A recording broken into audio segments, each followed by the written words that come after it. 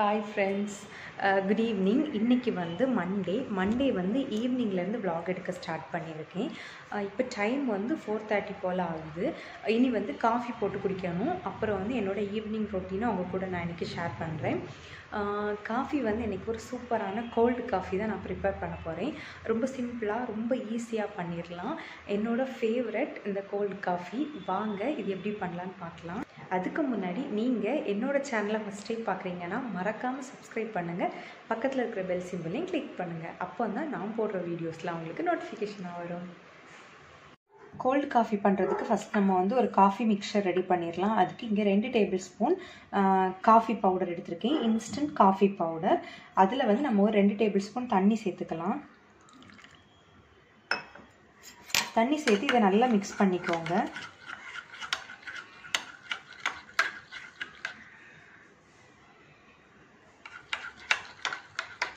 ரொம்ப டைம் ஆகாது உடனே மிக்ஸ் ஆயிரும். இப்போ நம்ம காஃபி மிக்சர் ரெடி ஆயிடுச்சு. நம்ம கோல்டு காஃபி பண்ண ஸ்டார்ட் பண்ணிடலாம். இப்போ கோல்டு காஃபி பண்ணுறதுக்கு வந்து ஒரு மிக்சர் ஜார் எடுத்துக்கோங்க. அதில் நம்ம ரெடி பண்ணி வச்சுருந்தோம்ல காஃபி மிக்சர் இதை சேர்த்துக்கலாம். அப்புறம் வந்து ஒரு ரெண்டு டேபிள் ஸ்பூன் சாக்லேட் சிரப் சேர்த்துக்கோங்க.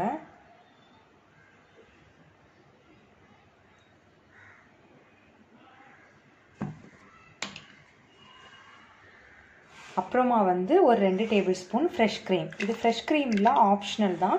நீங்கள் இல்லாட்டி ஃப்ரெஷ் க்ரீம் சேர்க்க வேண்டாம். சேர்க்காமலும் பண்ணலாம். ஃப்ரெஷ் க்ரீம் சேர்க்குறதுனால ரொம்ப க்ரீமியாக இருக்கும். நம்ம கோல்ட் காஃபி ரொம்ப நல்லாயிருக்கும் அப்புறமா இதில் நான் அங்கே வந்து ஒரு ரெண்டு ஸ்கூப் வெண்ணிலா ஐஸ்கிரீம் எடுத்து வச்சுருக்கேன். இதை சேர்த்துக்கிறேன். அப்புறம் காய்ச்சி ஆற வச்ச ஒரு கப் பால். கடைசியாக வந்து ஒரு ரெண்டு டேபிள் ஸ்பூன் சுகர் இதில் வந்து நீங்கள் ஐஸ் கியூபர் ஜாரை க்ளோஸ் பண்ணி நம்ம போட்டிருக்க சுகர் எல்லாம் கரையிற வர இதை நல்லா பிளெண்ட் பண்ணி எடுத்துக்கோங்க. இப்போது நம்ம இதில் ரெடி பண்ணி வச்சுருக்க இந்த மிக்சரை சேர்த்துக்கலாம்.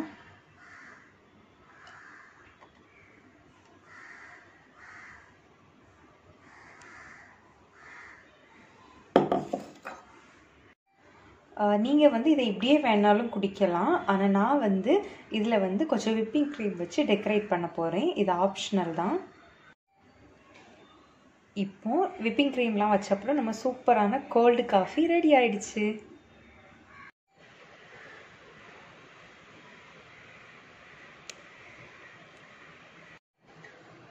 நான் இனி இந்த சூப்பரான கோல்டு காஃபி என்ஜாய் பண்ண போகிறேன் இதை சாப்பிட்டுட்டு வந்து உங்களை அடுத்து மீட் பண்ணுறேன்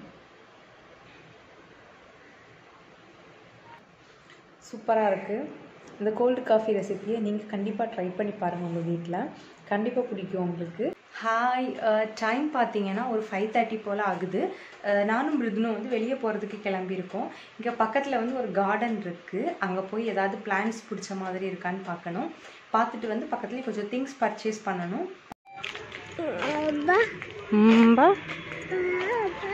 பா பார்த்தியா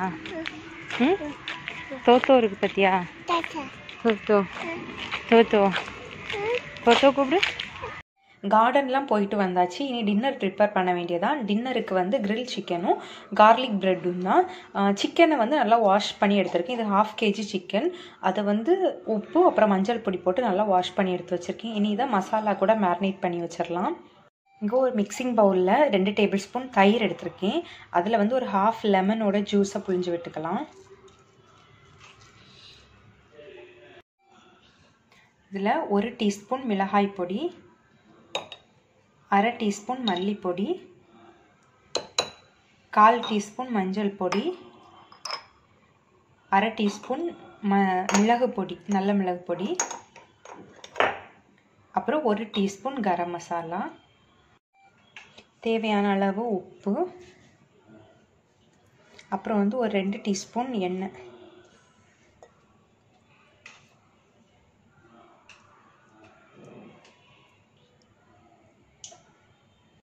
ஒரு ஹாஃப் டீஸ்பூன் இஞ்சி பூண்டு பேஸ்ட் இதெல்லாம் சேர்த்து இதை நல்லா மிக்ஸ் பண்ணி விட்டுக்கோங்க.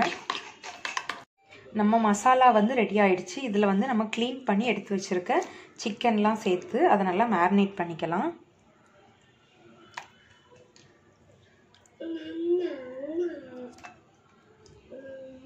சிக்கன் வந்து மசாலா கூட நல்லா கோட் ஆகணும்.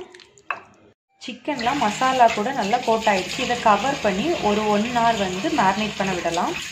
சிக்கன் வந்து ஒரு ஒன் ஹவர் நல்லா மேரினேட் ஆகி ரெடி ஆகிடுச்சு இதே இது நீங்கள் வந்து ஆஃப்டர்நூன் பண்ணுறதா இருந்துச்சுன்னா முந்தின நாள் நைட்டே நல்லா மேரினேட் பண்ணி ஃப்ரிட்ஜில் வச்சுட்டு அடுத்த நாள் பண்ணாலும் ரொம்ப டேஸ்ட்டாக இருக்கும். இப்போ வந்து இதை ஒரு பேக்கிங் ட்ரேக்கு மாற்றிக்கலாம்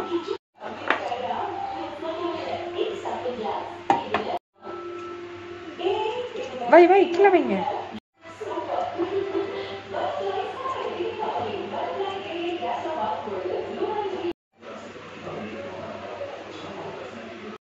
மேரினேட் பண்ண சிக்கனை ஓவனில் வச்சு ரெண்டு சைடும் ஃபிஃப்டீன் ஃபிஃப்டீன் மினிட்ஸ் வச்சு நல்லா குக் பண்ணி எடுத்துக்கலாம்.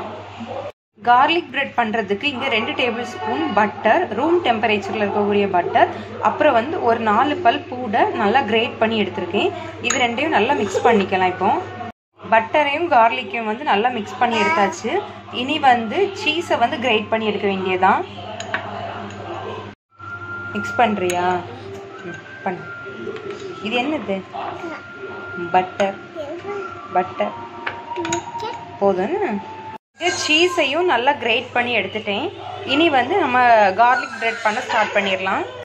ஒரு சைடு குக் ஆனதும் அதை மாற்றி வச்சு நம்ம இன்னொரு சைடும் ஃபிஃப்டீன் மினிட்ஸ் நல்லா குக் பண்ணிடலாம்.